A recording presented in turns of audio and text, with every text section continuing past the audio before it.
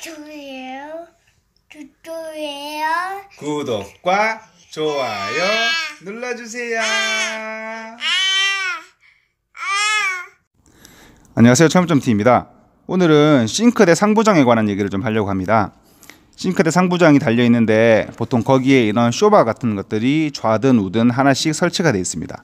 근데 만약에 오래됐을 경우에 아니면은 제품을 저렴한 걸 쓰셔가지고 금방 하자가 났을 경우에 이거를 어떻게 갈아야 되는지 정말 아무것도 모르시는 분이면은 난감한 상황이 발생합니다. 이 부분은 어디에 들어가며 이 부분은 어디에 들어가며 보통 이제 붙어 있는 거를 보고 분해하고 다시 조립을 하시면 되지만 그러면 그 피스 그 피스 자리에 박아야 되는지 아니면은 다른 부위에 박아도 사용이 가능한지 그거는 모르시는 분들이 많아요.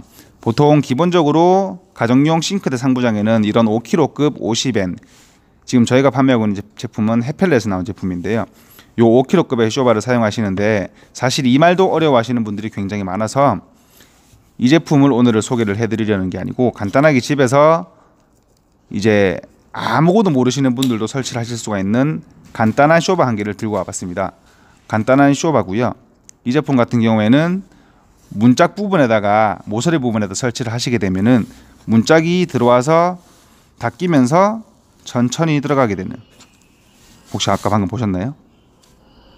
이렇게 간단한 쇼바형으로 나온 제품이라서 문짝 하나당 이 제품 하나를 보통 천장 부분에다가 문 모서리에 만나는 그 부분에다가 붙이시면 간단하게 소음을 방지하실 수가 있어요.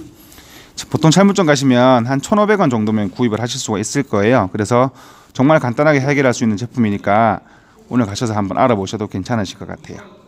오늘은 싱크대 상부장 소음을 줄이는 요 간단 쇼바에 관해서 설명을 드렸습니다. 오늘 영상은 간단하게 여기서 마치겠습니다. 철물점 TV였습니다. 감사합니다.